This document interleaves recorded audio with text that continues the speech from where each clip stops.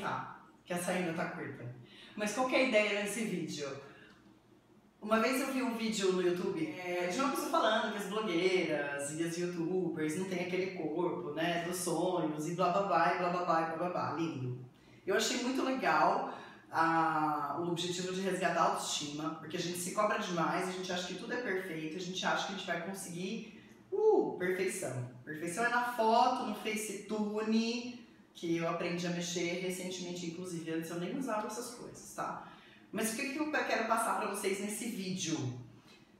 Eu, a minha barriga, a minha perna e as imperfeições que muitas vezes na foto não mostram. Um monte de gente fala assim, nossa, você tem um abdômen trincado, pra lá e pra lá. Tudo bem que eu acabei de almoçar, então assim, não vai, né? Tô com retenção de líquido, tomei água, comi um docinho, que eu não tô 100% na dieta nessa época, eu tô voltando aos poucos agora. Então, assim, não tô na minha melhor forma. E é justamente para trazer isso para vocês, mostrar um pouquinho do meu corpo como ele é de fato. E quem me acompanha no Instagram sabe, no Stories, eu vivo postando, eu mostro minha barriga. Enfim, não tem segredo nenhum, porque a ideia é justamente aproximar o máximo da realidade para inspirar vocês. Que muitas vezes a gente vê aquela modelo linda, maravilhosa e acha que um dia a gente vai chegar igual. E às vezes até chega, às vezes até passa das nossas expectativas, mas parar com essa cobrança excessiva de um manequim cabide, de um modelo ideal de corpo que não existe, tá? Antes, claro, vou colocar a vinheta aqui, curte, comenta, compartilha o vídeo nas suas redes sociais e favorita. Eu nunca vou ser comediante na minha vida, tá? Então fica a dica. Tem gente que nasce com a coisa, entendeu? Eu já não, gente.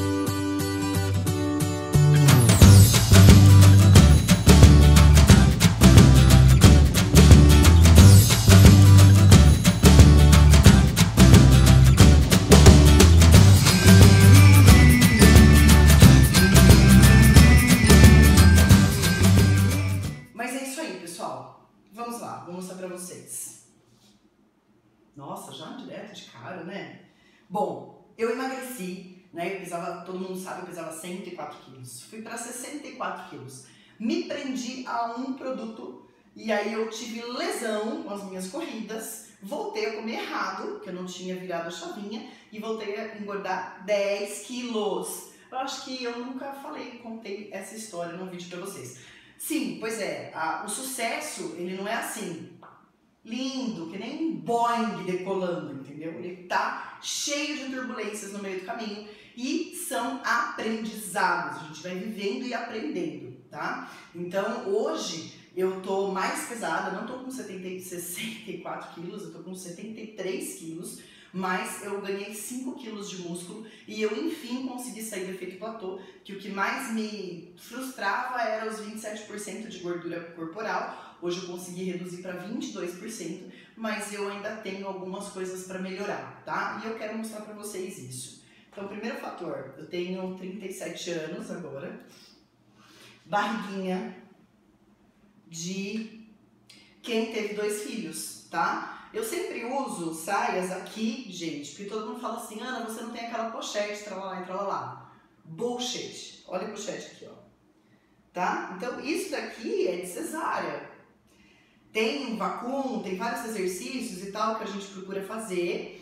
E eu tô fazendo agora é, aplicação com ozonioterapia, tá? Então, ver se melhora um pouquinho o aspecto das estrias. Já melhorou bem. Depois eu vou postar um antes e depois que já deu uma bela de uma melhora, tá? Isso daqui é festas de final de ano.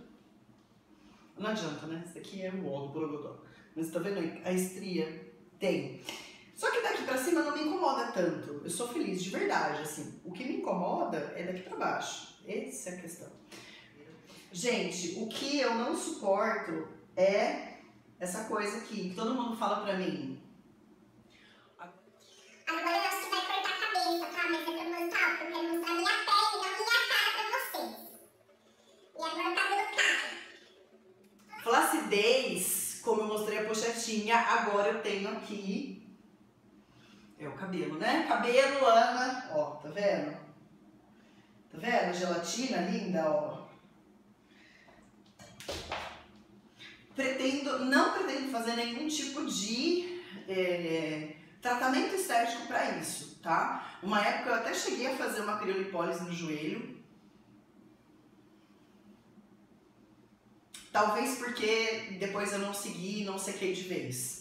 Então eu assumo parte da responsabilidade também, tá? A gente não é perfeita, não é 100%. Que é perfeita 100% do tempo, não. É...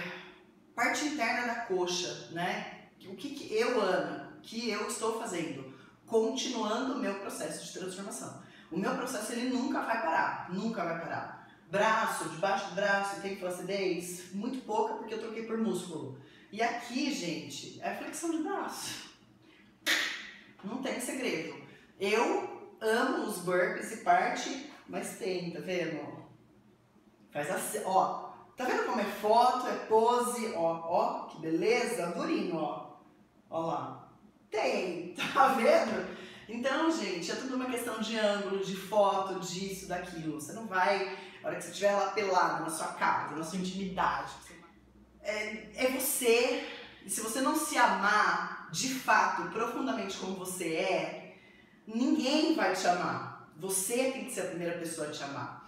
Você tem que olhar para o seu corpo e ver tudo que ele já passou, tudo que você fez ele passar, seja por escolhas boas, no meu caso foram as gestações, seja por escolhas erradas, no meu caso, alimentação, que agora eu tenho que pagar por né? Tem que pagar as consequências. Tem coisa aqui que não volta, não adianta, não volta o corpo que eu tinha 20 anos. Mas hoje eu estou melhor do que antes de casar, quando eu conheci o meu esposo, que na época a gente namorava. Porque eu não tinha músculo, eu não treinava, eu era sempre muito sedentário.